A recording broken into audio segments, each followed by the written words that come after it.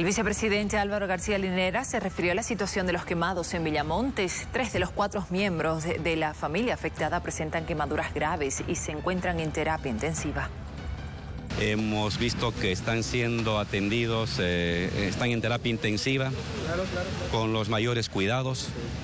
Su situación eh, es crítica, evidentemente, porque han sufrido quemaduras de segundo y tercer grado.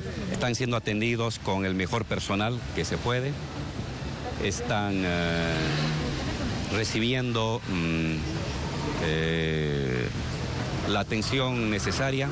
Los tres están en terapia intensiva y están sedados, están, eh, porque tienen que tener un tipo de tratamiento muy especial. Van a quedarse acá en eh, la clínica todo el tiempo que sea necesario.